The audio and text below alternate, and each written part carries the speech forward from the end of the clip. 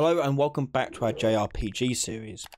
In the last episode we've been working on our victory screen, giving us XP and items to the player at the end of the battle.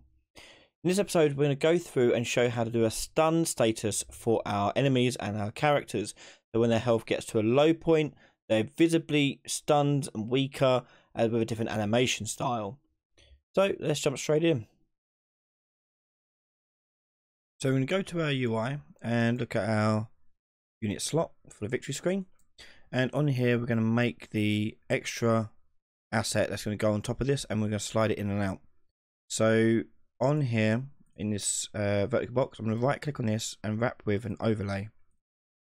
And in the overlay, we're going to have another asset. We're going to have another widget in here. And that's going to be a border widget. Drag this in like that. In this border widget, we want to uh, size it appropriately.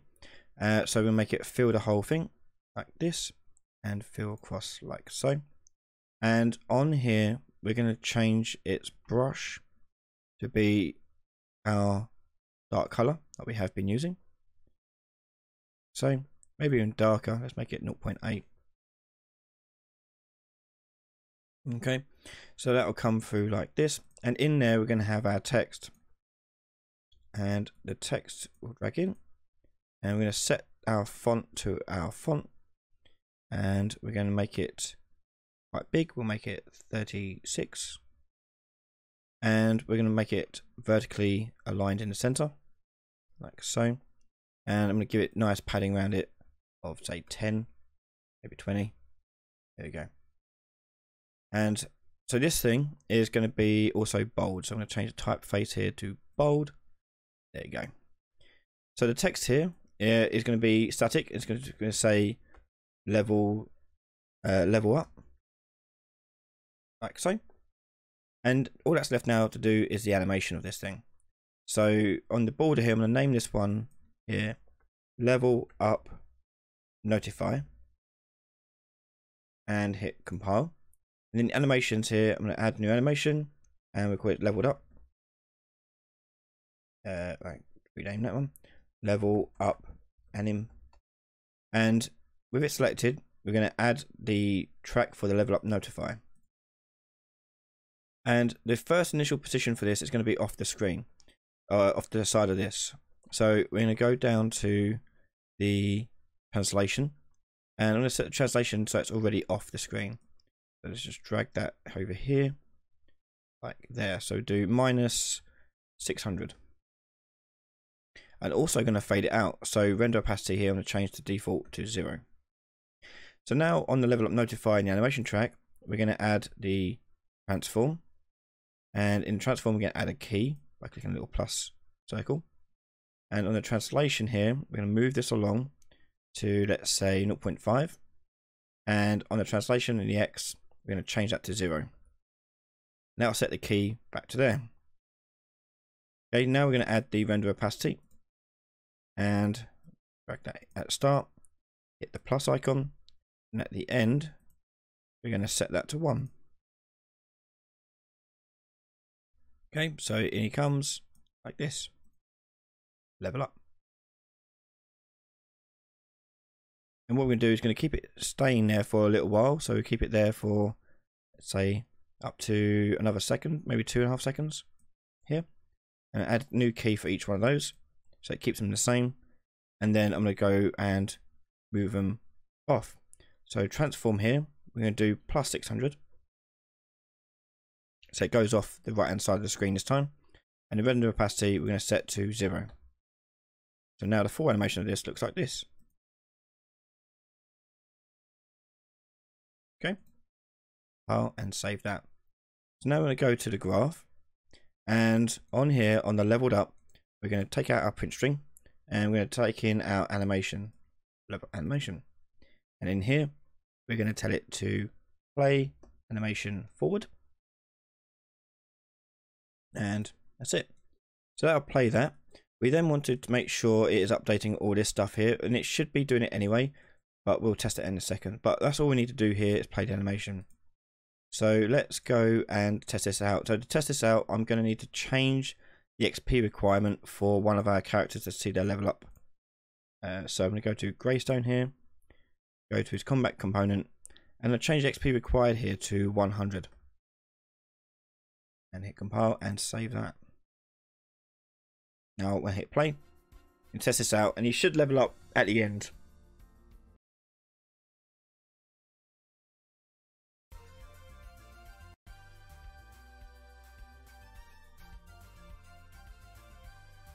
Okay, and there's the level up we saw there. And he leveled up twice, okay? But however, his number didn't change, and also the progress bars are broken, obviously, we can see here. So let's take a look at what's gone wrong there. I'm going to go back to my UI and check out my victory screen. And where I've added that um, UI for the uh, overlay, it's broken the overall adjustment of the whole entire uh, section there. So let's go to the victory screen unit slot and on the designer view of this, the issue is in this here. So this would be the vertical box. You can see here it's left aligned. So we hit that to stretch again and take that to stretch again there. And that should fix it now over on this victory screen here. Brilliant. Okay. So now you've got uh, full bars again. Next, we need to make it so it can update the numbers on the screen for his uh, level. So on the unit slot here, uh, after we level up, we're going to tell this to just update the card again. So we're going to take this here and do update card. And that should update his name, which won't change, but it will update the leveling parts and be accurate. We're going to hit compile and save that. Um, okay. So when you call level up, that's going to happen there. Excellent. And that level up is getting called by the combat component in the level up, level up function. Oh, wrong one. Uh, there. So level up, we call leveled up. Okay. And we can see on our victory unit slot here that we're looking at the current unit level, working it out here. Okay. So let's test this out. Play. And we're going to attack.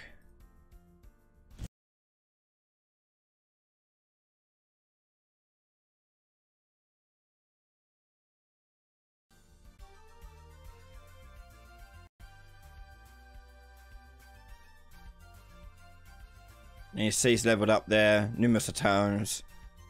He's now level 7. Okay. So notice how it leveled up a lot there. Now the reason why it did that, and that's an error, um, is because we, uh, on our reward XP here, there's a slight subtle thing, and it's something that most people would miss, and I missed it as well when I first built this. So when we take the um, greater than or equal to check here, we're checking what it would be if XP current was adding the XP here. However, before this branch happens, we set the XP current to this meaning XP count now is actually higher here than it was when it first went round. So it's now looking, let's say this was 90, add 10, comes 100, then this will happen and do a check. And this check will now do 100 plus 10, 110, and go into there. You get some issues. So all we have to do here is just change that from checking there to checking here instead. So it looks at the current XP current value. Now I'll fix that issue. So the other thing we're going to fix is something that we noticed in the last episode, which was when enemies were sliding on the floor when they were stunned, not doing the actual walk animation. Now the reason why that's happening is because the montage is told a loop, and therefore won't stop until it's interrupted by another montage. So what we're going to do here is we're going to go back to our unit base here, and we want to know when we're starting the turn whether or not they're in stun mode or not. So what we're going to do is we're going to go to the uh, combat component and we're going to go to start turn. And on start unit turn, we're going to tell them basically to stand up and not be stunned if they are currently stunned. So on here, on AI controller, get valid, we're going to go along here and we'll just do this here. Move this along, this along, like so. Excellent. Okay, so next I'm going to drag the unit character out and from there I'm going to get uh, the me uh, mesh and from there. And from there, we want to get the anim instance, which is the animation blueprint. So anim instance. And then from that, we can check whether or not they're playing animation. So is montage playing? And we'll put that in here. And the montage we're going to check here is actually going to come from a unit character. When you get this stun mon animation montage and plug that in there. So if they're currently playing their stun animation montage, we'll tell them to stop. So we're going to put a branch in here. That in there. And put that in the condition. And that is the case from the anim instance here. We're going to make it say stop. Montage stop. And we want it to stop the stun animation montage. Let's drag that in there like so. So we can organize this a little bit better. Uh, a little bit tricky, but there we go. Is what it is. Okay. So that is now going to tell it to stop that montage. And we give it a little blend out time here. We'll go 0.25 and that'll look quite nice. So he'll stop doing the montage uh, and stand up. And then we want it to resume the branch there. If it's false and it's not playing that, then we don't have to worry about any of that. We just go down to false and do that. Um, okay, so that'll do that. We then want it to return to being stunned when he returned back to his starting location. So we're going to go to the event graph here. And we're looking at when they end a turn, sorry, um, on the unit base. So on unit base, we got doing the stun animation checks here, like so. And basically what I'm going to do is make it just check all of this, okay? So what we're going to do is we're going to take all this out. In fact, actually what we'll just do is do um, a function on here.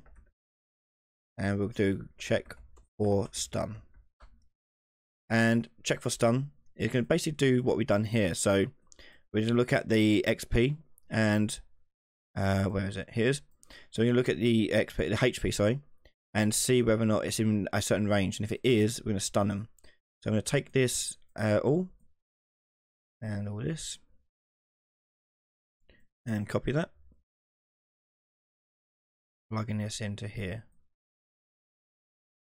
So if that is true, they'll start the stun animation again. Uh, there is another option for them to do stuns, and that is when um, da -da -da, and that's if they've been stunned already. That's fine. We can leave that as long. So that's if, that's if they've been hit and they're stunned already. They're going to return to stun. That's fine. This is the main thing we want to do. So check for stun. This will be fine. Now we need to call that function. So I'm going to go back to the combat component and go to end unit turn. And at the end of this, we're going to take the unit character and we're going to call the check for stun. That's it. So to test this out, it'd be a bit tricky, but we'll try. Uh, so we'll set the enemy's health slightly higher. So I've got it set to currently uh, on HP. Uh, we'll go to combat component and set their unit stat modifier here. HP, we'll make it a little bit higher. We'll go to 0.3, for example. And see what that looks like. So I'm looking to knock one down for a bit. She's already higher level, so she might kill him. But these two may have a better chance of just stunning them down. Not enough on him. We'll see if Gideon can knock him down a bit.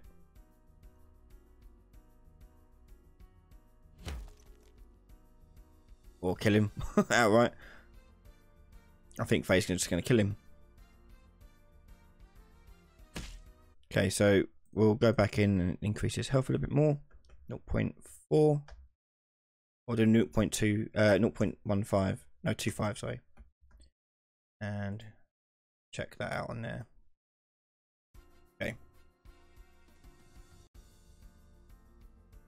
Attack this. And then we're going to hopefully stun this one. There you go. So when he sees the turner to attack, he should walk like normal. Uh, so let's just get Gideon to kill the other one. Okay, so they're both stunned, so it has to be a good chance to see this. So he walks like normal, and he should attack and then return back to his spot and return to being stunned. Like so. There you go. Excellent. Lovely jubbly. And Faye can finish him off.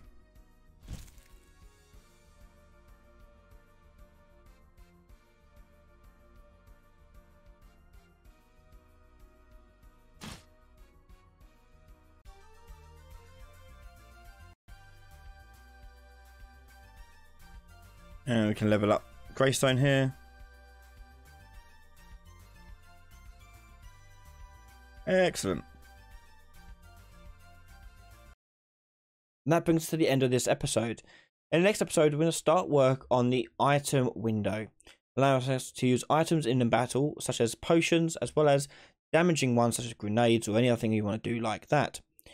So you can watch the next episode right now over on patreon.com forward slash Ryan Laley. We can catch all my videos early before anyone else. I'll say massive thank you to all my patrons and YouTube members for their continued support.